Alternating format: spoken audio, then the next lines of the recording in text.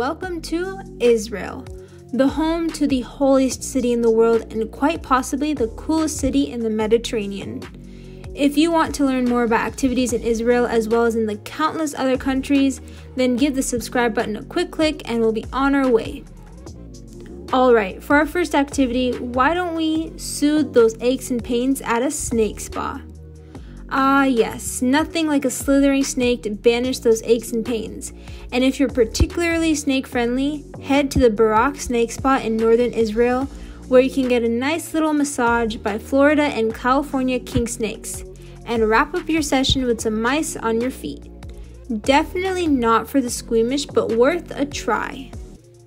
After what could be a stressful massage, time to relax and float in the Dead Sea.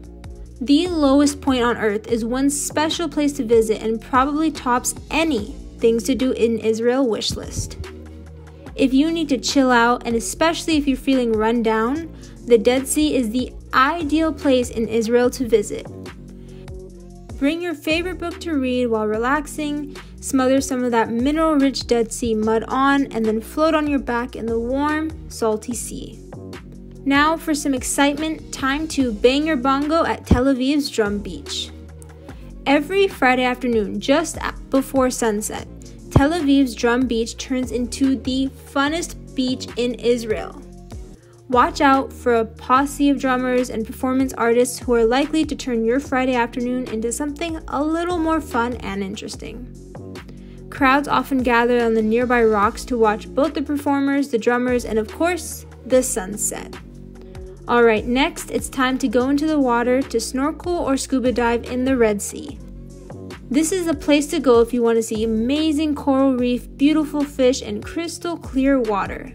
With great weather practically all year round, this is the place to dust off your snorkel or scuba skills. With that reason, water sports in the Red Sea should definitely make the things to do in Israel checklist. Now, time to get in touch with the country's culture by touring the Old City of Jerusalem. The Old City of Jerusalem is a real must see, being home to sites of key religious significance, including the Western Wailing Wall, the churches, and the Dome of the Rock. And again, it's probably right at the top of any Israel bucket list. You can easily spend a full day here by exploring the cracks of the huge stones that make up the Western Wall, browsing the stalls in the narrow streets of the Old City Bazaar, and visiting the site of Jesus' crucifixion.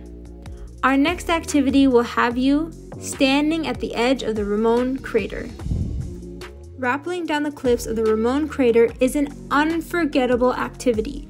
The stunning scenery of the Ramon crater is simply breathtaking. Get as close to the edge as you can and jump. And yup, you'll feel that adrenaline. Being the largest crater in the world, it sinks some 500 meters at its deepest point. So, rappelling will get you an amazing view all the way down. After rappelling, why not follow it up with something even more exciting like skydiving over four countries in one jump? That's right, not one, not two, not three, but four countries. If getting your adrenaline really pumping through your veins is on your agenda, try skydiving over Eilat. If you're looking for something just that little bit crazy, this is an opportunity to have a truly once in a lifetime experience as you hurtle earthward while overlooking four countries Israel, Egypt, Jordan, and Saudi Arabia. From one adrenaline pumping jump, now it's time to take a second to enjoy a sunset on Tel Aviv Beach. The gorgeous sandy beach of Tel Aviv is the perfect spot to catch a sunset. Accompanied by your favorite snacks and beverage, time to kick off your shoes and feel the sand between your toes as the Mediterranean laps gently at the shore. You could also wind down the day at one of the many beachside cafes, the choice is yours. This simply has to be on your list of things to do in Israel.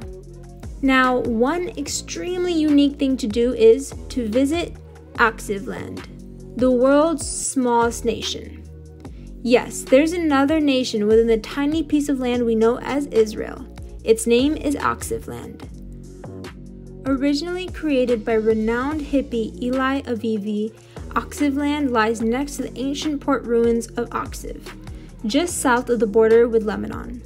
Now, the nation is run by Eli's wife, Rena, and you can stay overnight and even get a symbolic passport stamp as a souvenir from your visit.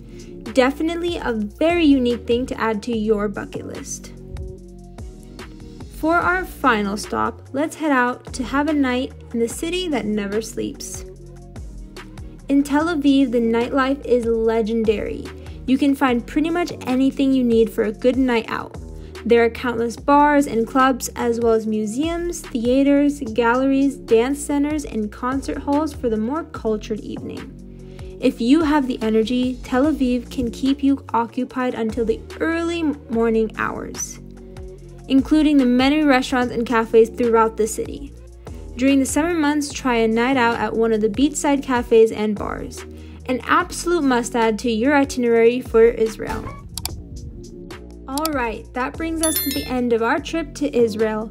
Hope you enjoyed the video and the activities. Please like and comment anything that you have tried or would like to try on your next vacation. See you next time when we hop on over to yet another country.